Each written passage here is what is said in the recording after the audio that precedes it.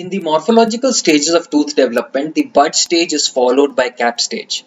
In bud stage, as the enamel organ grows in size, it develops a concavity and attains a cap shape which then increases in size. This change in shape is because of unequal growth in different parts of the enamel organ. The tooth germ appears like a cap of enamel organ kept over a ball of condensed ectomesenchyme. A basement membrane surrounds the enamel organ. Thus, the cap stage shows morphodifferentiation by changing its shape from a bud to a cap and also there is histodifferentiation from this stage. That is, the cells of the enamel organ start showing differentiation or specialization. From the two types of cells in bud stage, three types of cells are seen in the cap stage. A single layer of cells lining the convex surface of the cap form the outer enamel epithelium which are cuboidal in shape.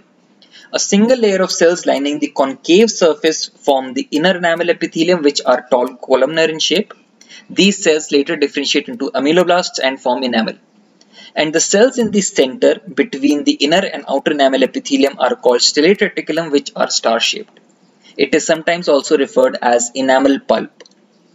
The central cells in, in bud stage are polygonal shaped. Then in cap stage they change to star shape. This is because the cells in the center start releasing glycosaminoglycans into the surrounding ground substance. The glycosaminoglycans are hydrophilic and so attract water from the surrounding connective tissue. This collection of water pushes the cells apart, but they remain attached to each other at points of intracellular junctions. This gives an appearance of a network of star-shaped cells, hence called stellate reticulum. The collection of water gives stellate reticulum a cushion-like consistency.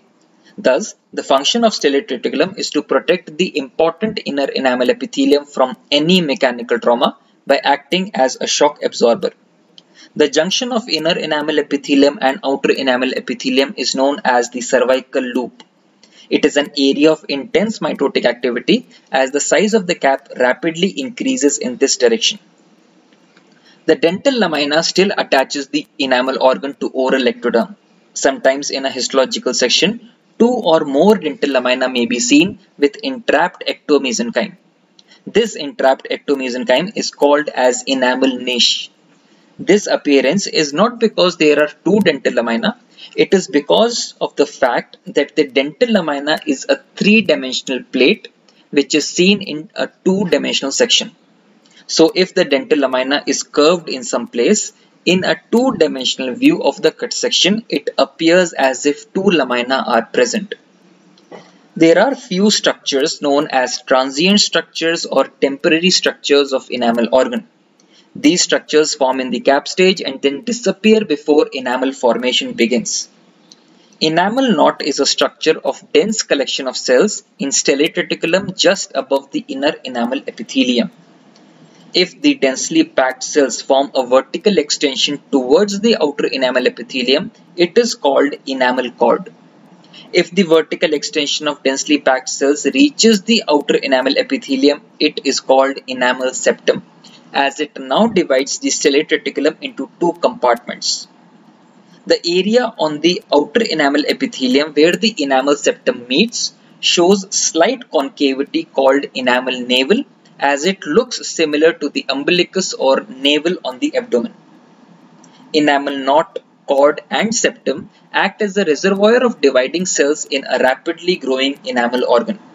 Additionally, enamel knot acts as a signaling center and plays an important role in deciding what shape of the tooth is to be formed.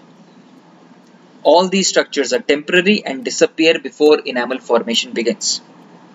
That was about the epithelial part of the tooth germ, coming to the surrounding connective tissue.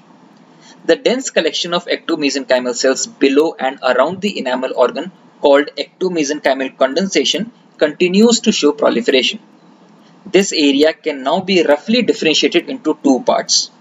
The cells which are within the concavity of the enamel organ and below it form dental papilla, which later forms pulp and dentine. The ectomesenchyme surrounding the dental papilla and enamel organ is called the dental sac or dental follicle which later forms cementum, periodontal ligament and alveolar bone.